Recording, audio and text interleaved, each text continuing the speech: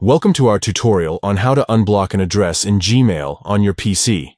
If you have accidentally blocked an important contact, or if you want to remove an address from your blocked list, follow these simple steps to unblock it. Step 1. Open Gmail. Launch your Gmail account by visiting the official website and signing in. Step 2. On the top right corner of the screen, click on the Settings icon. It looks like a gear. Step 3. From the drop-down menu, select See All Settings. This will take you to the Settings page. Step 4. On the Settings page, click on Filters and Blocked Addresses from the top menu. Step 5. Look for the address you want to unblock, and next to it, click on Unblock. By unblocking an address, you ensure that you receive emails from that specific contact again.